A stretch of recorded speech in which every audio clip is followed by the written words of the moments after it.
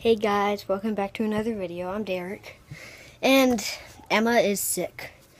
Yes, my oh, my hair. Oh my god. Um anyways, Emma is sick and we're going to go say hi to her. Hello? Okay. Hey, you good?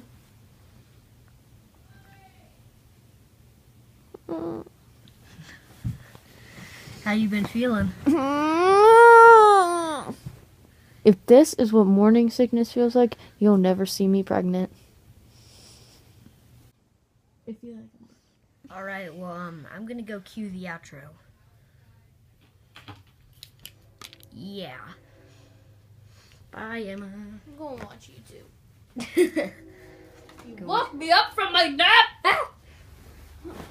Sorry. Bye.